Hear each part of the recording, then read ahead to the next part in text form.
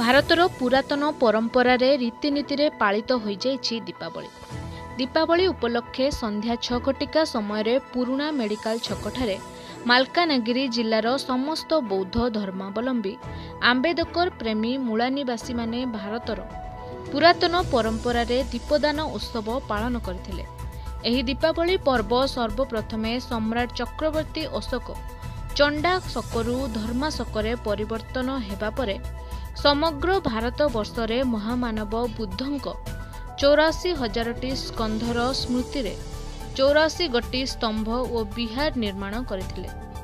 ଏହି ସ୍ତମ୍ଭ ଓ ବିହାରକୁ ଶୁଭ ଉଦ୍ଘାଟନ କରିବା ପାଇଁ ଆଜିକା ଦିନ କାର୍ତ୍ତିକ ମାସ ଅମାବାସ୍ୟାରେ ସମଗ୍ର ଭାରତରେ ଦୀପ ଓ ପୁଷ୍ପମାଳ ତୋରଣରେ ସାଜସଜ୍ଜା କରାଯାଇଥିଲା।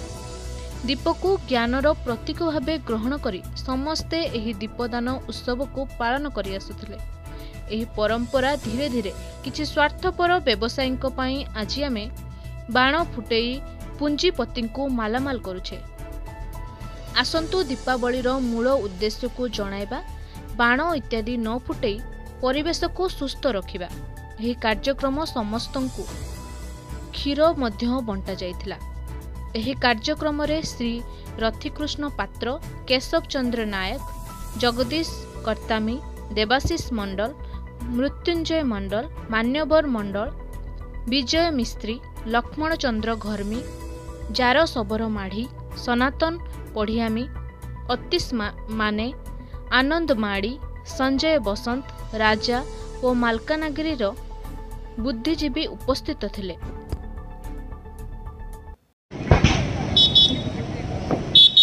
ଆପଣଙ୍କ ପରିଚୟ? ମୋ ନାଁ ରଥିକୃଷ୍ଣ ପାତ୍ର। ସାର୍ ଆଜି କ'ଣ କାର୍ଯ୍ୟକ୍ରମ ହୋଇଥିଲା ସାର୍? ମୁଁ ଅ, ଅବସରପ୍ରାପ୍ତ ଓଡ଼ିଶା ପ୍ରଶାସନିକ ଅଧିକାରୀ ଆଉ ମୁଁ ବର୍ତ୍ତମାନ ଅ, ଓକିଲାତି ଆଡ଼ଭୋକେଟ୍ କରୁଛି ଆଡ଼ଭୋକେଟ୍ ଆଉ ମୁଁ ଅଛି all India civil case federation Odisha ୟୁନିଟ୍ର state president ଆଜି ଆମର ମୂଳ ନିବାସୀମାନଙ୍କର ମହାନ ଉତ୍ସବ ଦୀପଦାନ ଉତ୍ସବ ଆମେ ପାଳନ କଲୁ ମାଲକାନଗିରିରେ। ଏହାର ଉଦ୍ଦେଶ୍ୟ ହେଲା ଦୀପ ହେଉଛି ଆଲୋକ ହେଉଛି ଜ୍ଞାନର ସିମ୍ବଲ। ତାର ସେଥିପାଇଁ ଆମେ ଉତ୍ସବ ପାଳନ କରୁଛୁ। ଆମର ମହାପୁରୁଷମାନଙ୍କ ଉଦ୍ଦେଶ୍ୟରେ ଆମର ପୂର୍ବପୁରୁଷମାନଙ୍କ ଉଦ୍ଦେଶ୍ୟରେ ସମସ୍ତଙ୍କ ପାଇଁ ଆମେ ଆଜି ଦୀପଦାନ କଲୁ ଏବଂ ପ୍ରତିବର୍ଷ ଏ ଉତ୍ସବ ଆମେ ଏଠି ପାଳନ କରିବୁ। ଜ୍ଞାନର ପ୍ରତୀକକୁ ଆମେ ରଖି ଏ କୌଣସି କର୍ମକାଣ୍ଡ ବ୍ୟବସ୍ଥାରେ ଆମେ କରୁନୁ। ଆମେ ଆମର ମହାପୁରୁଷମାନଙ୍କୁ ସ୍ମରଣ କଲୁ ଏବଂ ତାଙ୍କର ନୀତି ଆଉ ତାଙ୍କର ବାଣୀ ଆମେ ସ୍ମରଣ କଲୁ। ଆଉ ଆମେ ମହାନ ଯୋଗୀ ମହାନ ଜ୍ଞାନୀ ତପସ୍ୱୀ ଅତି ବିଖ୍ୟାତ ଜ୍ଞାନର ପ୍ରତୀକ।